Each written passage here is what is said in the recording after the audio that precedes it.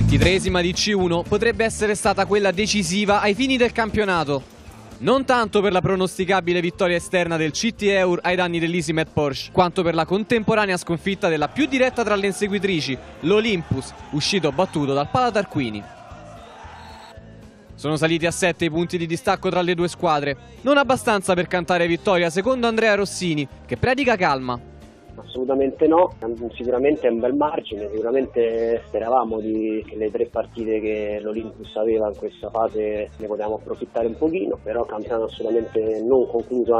Il CT Euro affronterà nelle prossime giornate avversari temibili come Palestrina, Lazio Calcetto e Mirafin.